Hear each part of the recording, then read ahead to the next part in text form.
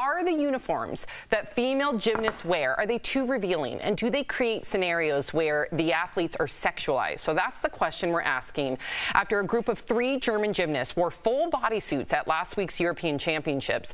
They said they wore them to set an example. So all gymnasts who feel uncomfortable or sexualized in regular uniforms feel like they have a choice in what they wear. If you compare them to the regular leotard, you can see these cover a lot more of the body, all the way to the forearm and the ankles.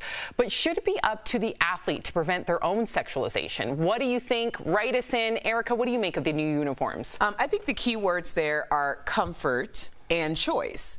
I don't believe that a person who is a victim of sexualization is responsible for desexualizing themselves. It screams very much what was she wearing in sexual assault cases.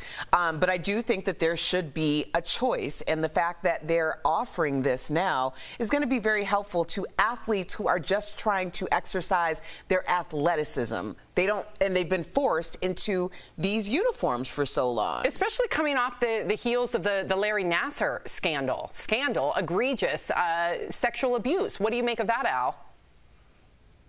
I mean, Erica hit it right on the head. I mean, and also in terms of comfort, Erica, I, would also say just uh, in terms of, you know, you're dealing with a wooden bar, I would think that you would want most of your skin to be covered to prevent being burned as you're falling off of and getting onto a mat constantly. I would think that that's just what you want to go with. As a, as a father that has a daughter that plays volleyball, I am concerned with men that are in the stands that don't have anybody whose team they're cheering for. It's a thing, mm-hmm. uh, it, and you don't see this in men's sports. And honestly, I've read some articles getting ready for this about cheerleaders feeling the same way, feeling exposed in front of everybody because you have to do backflips and you spread your legs if you're a cheerleader when you are thrown up, and it can be super uncomfortable. So I get it. Wear what makes you feel comfortable.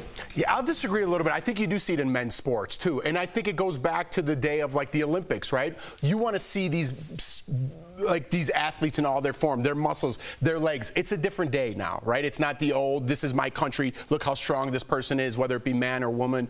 They should be, if it doesn't affect the competition itself, you should be able to wear whatever you want. And in this case, I don't think it does. Yeah, well said. And coming from a swimmer, let me tell you, wearing those swimsuits, yeah. there were many people in those stands that weren't there to watch the, the actual sport.